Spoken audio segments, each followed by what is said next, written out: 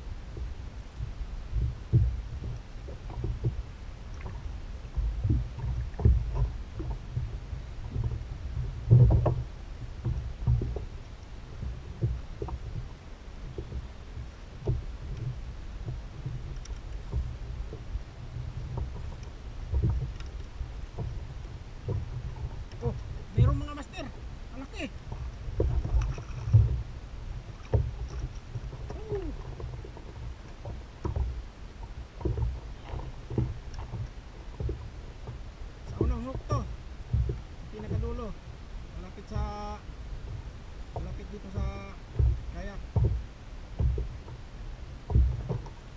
Woohoo! Number one. Pasok. 40 cm.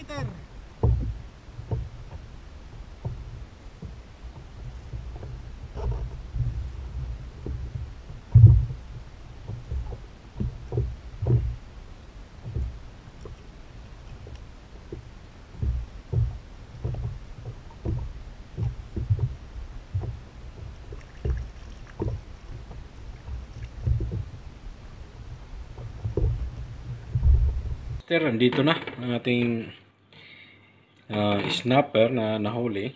So, igigrill ko ito mamaya. Lagyan lang natin ng mm, asin at paminta.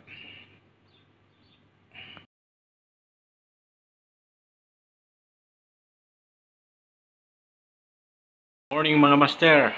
So, ito na po yung huli ko kahapon. Um, ginawa ko siyang grill. Oven grill.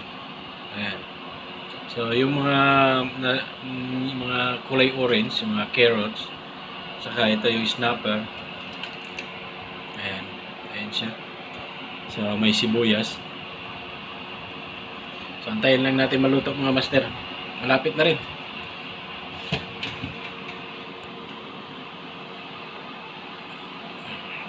Ito ang mga bunga ng paghihirap Okay? Tayin lang natin maluto. Saka, may ginawa rin akong pang-agahan. Yung yung dessert ba? Ayan o. Puto. Gumawa ko ng puto pao. Hmm, Di ba? Sulit mga master. Ah, ito yung ginawa ko.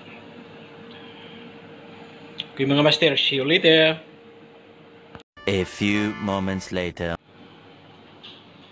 Ayun mga master, luto na ang ating grilled fish with potopaw. So, kain na ng mga master. Ito yung tinatawag na late breakfast, early lunch. Ooh, bunga na pagtsatsaga.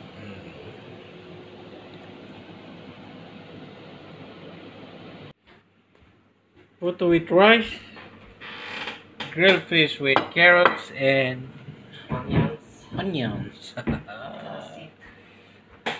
That's the one. So, late breakfast, early lunch. Wee-hee! What are you to tell us to